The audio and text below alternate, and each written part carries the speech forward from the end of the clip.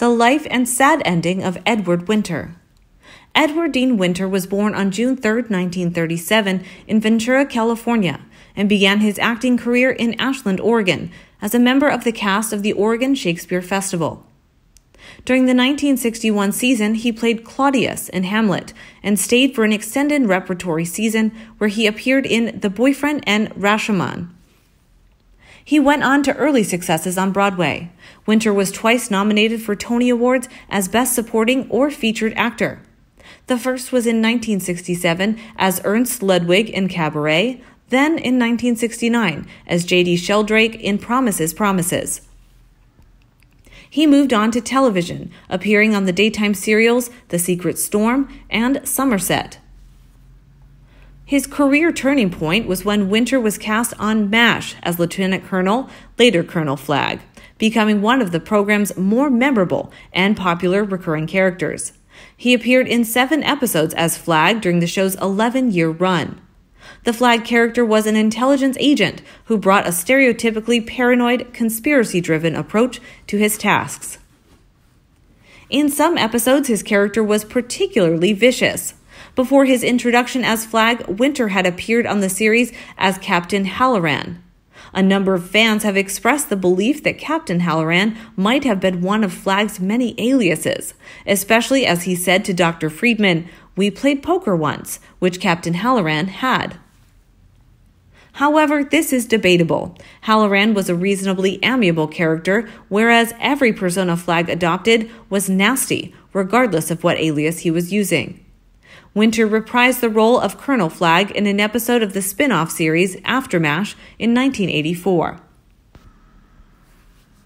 Winter appeared in the season 1 episode of The A Team titled Holiday in the Hills in 1983. Winter also appeared in the TV show Alice, Season 2, Episode 7. He played Alice's possible boyfriend, Jack. In 1974, he played a pedophile in the infamous Marcus Welby MD episode The Outrage. The same year, he appeared in the films The Parallax View and The Disappearance of Flight 412. In 1976, he appeared in the crime comedy Special Delivery. Winter was a recurring character in the first season of the primetime sitcom Soap in 1977 to 1978, portraying Congressman Walter McCallum, who was having an affair with the Tates' daughter, Eunice.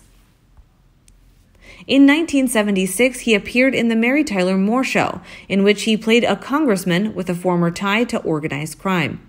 He guest starred in season 1 on the A Team in the episode Holiday in the Hills and appeared in season 5 episode Road Games. In 1977, Winter appeared in an episode of Lou Grant titled Housewarming as a reporter who beat his wife.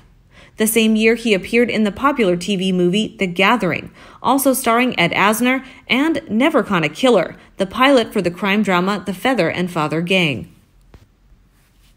Then, Winter starred in the 1979 NBC primetime drama Project UFO and was featured in the 1980 film A Change of Seasons. He appeared as the corrupt county commissioner Bob Gebhardt in the 1983 movie Porky's 2 The Next Day, the romantic comedy The Buddy System in 1984, and in From the Hip 1987, also directed by Porky's director Bob Clark. In 1980, he played Clark Gable in the TV movie The Scarlett O'Hara War. In 1982, he appeared in the Magnum PI episode Heal Thyself. He appeared in two memorable episodes of Dallas in 1981 as plastic surgeon Dr. Frank Waring, Mitch Cooper's mentor for a bit. He also appeared as Charlton Charlie Chambers as Ed Winter in the outstanding 1980 episode of Columbo, Rest in Peace, Mrs. Columbo. Winter guest starred in the Golden Girls in 1989 episode Blind Date as John Quinn, a blind man who dates Blanche despite her reservations due to his disability. Winter co starred in the 1986 TV movie A Christmas Gift as Thomas Renfield with co star John Denver. Three years later, he portrayed Las Vegas entertainer Johnny Roman in Mike Hammer Murder Takes All. He appeared on a 1991 episode of the television series Night Court as Clarence Egan. Winter had a recurring role on the Fox sitcom Herman's Head from 1991 to 1994. Winter portrayed Mr. Crawford, an executive at the Waterton Publishing, where the series' lead character, Herman Brooks, William Ragsdale, worked. He appeared in the 1995 Seinfeld episode The Beard, playing Robert's boss. Winter was featured as the real life character of Carl Lawson in a 1995 episode of UPN's Real Ghosts, also known as Haunted Lives True Ghost Stories.